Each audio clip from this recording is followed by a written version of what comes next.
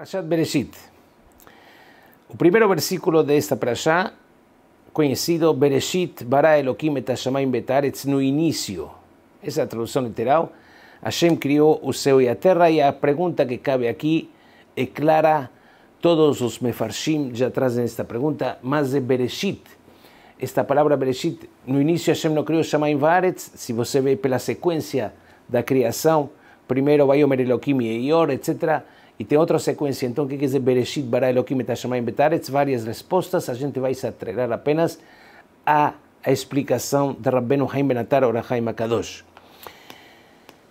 E ele diz, ele traz, em nome do Midrash, ele traz várias explicações sobre isto, mas vamos pegar apenas uma. Bederech Remes, em forma de Remes, nos ensinam Hachamim que a palavra Bereshit se refere sobre a Torá.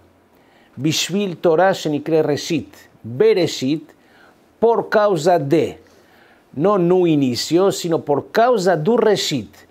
Quem é Reshit? Por causa de Reshit foi criado o mundo. O mundo tem uma finalidade e para isso foi criado. Para quê? Para a Torá, que a Torá foi chamada de Reshit. E a Bet, é, a letra Bet vem como dizendo por causa de Bereshit. Então, a pessoa que diz Orahaim Akadosh acrescenta. Já Rashi também traz um pouco disto, mas Orahaim Akadosh acrescenta. Então, daqui nós vemos o seguinte, que a pessoa que tem mérito a Torá, então ele tem mérito a ser, a cumprir. Em outras palavras, a função pela qual o mundo foi criado. E aquele que não tem mérito a Torá, então a priori não teria direito a ter, a ter proveito deste mundo, pois o mundo foi criado para aquele que tem Torá. A menos que ele seja um meio para aqueles que estudam Torá e se esforçam nela. E isto também, diz Orahaim Akadosh, inclui no que também Jajamim disseram no outro Midrash, que também o mundo Bereshit, Reshit, e Reshit também se refere sobre Am Israel, que Am Israel foi chamado Reshit Boatá como a produção entre os povos, o povo escolhido, certo? E diz Orahaim Akadosh, isso não contradiz o fato da Torá, pois justamente Israel vai junto com a Torá. Quem é quem estuda a Torá é Israel, então ambos são Reshit. E por causa da Torá, Am Israel foi escolhido. Tá certo? Então, isto é a isso. E esta é a base que nos quer ensinar o Orahaim Akadosh aqui. Que significa que a finalidade da criação do mundo é em função à Torá. Em função a Israel que estuda a Torá e em função àqueles que têm Irat Shamaim, que também a Irat Shamaim, o temor a Hashem, foi chamado de Reshit, como diz o versículo, Reshit Chochma Irat Hashem. Pois se não tem Chochma, se não tem Torá, não tem temor a Hashem. E se não tem temor a Hashem, a Torá que a pessoa estuda não serve. Então, isto é, em síntese, o que a palavra Reshit, de acordo ao Bereshit, de acordo ao Orahaim Akadosh, vem nos ensinar em uma das explicações que ele dá, ele dá algumas. Eu vou passar para mais para frente, já que a Perashat Bereshit, na verdade, ele se estende muito, nós vamos falar mais um pirush da explicação de Rabbenu Haim Benatar sobre esta Perashá e vamos pular para frente. Quando o versículo diz, no capítulo 3, versículo do, eh, 20, perdão, Vaikra Adam Shemishto Havá, e Adam Arishon chamou sua esposa de Havá, que hi aita em kolchai, pois ela é a mãe de todo ser humano vivo. Esta é a tradução do Pasuk.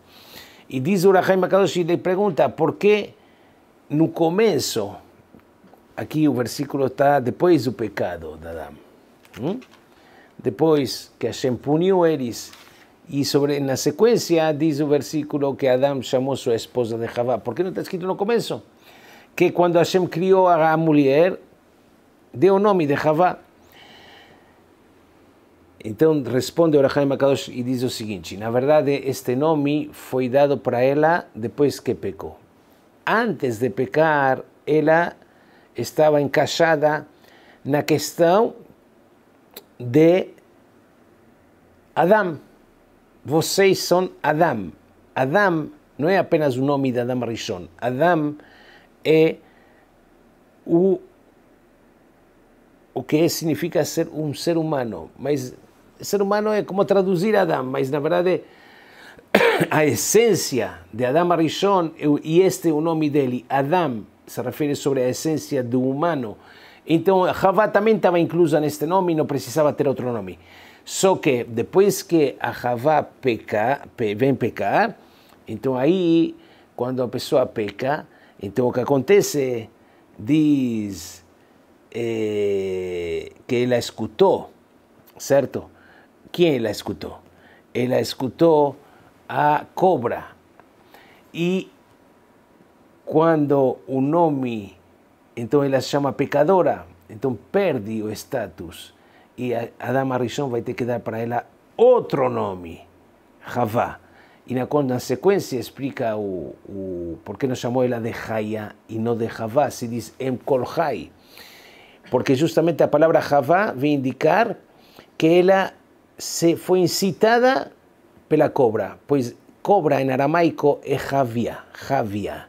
Então por isso Adam colocou este nome de Javá, que tem as duas funções da mulher. Primeiro que ela foi incitada pela cobra, e a segunda parte que justamente ela é Emkolhai, pois depois da punição de Adam, porque a, Adam, a Havá é chamada em, mais, de todos os humanos, porque Adam Rishon é chamado pai de todos os humanos, porque justamente como a punição foi que a mulher ela tem que agora sofrer e tem que ter a gravidez que não tinha antes do pecado. Então, esses nove meses e a gravidez e as dores e as dores do parto e etc vem depois do pecado, por isso que vem a palavra Havá para indicar essas duas coisas. Shabbat Shalom.